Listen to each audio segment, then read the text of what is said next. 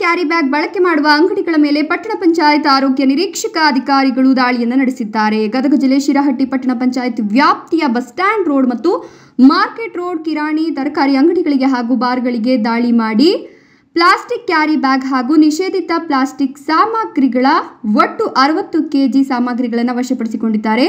ಹಾಗೂ ಅಂಗಡಿ ಮಾಲೀಕರಿಗೆ ಸಾವಿರದ ಎಂಟುನೂರು ರೂಪಾಯಿ ದಂಡವನ್ನು ವಿಧಿಸಿದ್ದಾರೆ. ಇನ್ನು ಈ ಸಂದರ್ಭದಲ್ಲಿ ಮುಖ್ಯಾಧಿಕಾರಿಗಳು, ಆರೋಗ್ಯ ನಿರೀಕ್ಷಕರು, ನೀಲೇಶ ಹಾದಿಮನಿ ಹಾಗೂ ಪೌರ ಕಾರ್ಮಿಕ ಸಿಬ್ಬಂದಿ ವರ್ಗದವರು ಭಾಗಿಯಾಗಿದ್ದರು. Veeresh Gogari NKS TV for Gadag.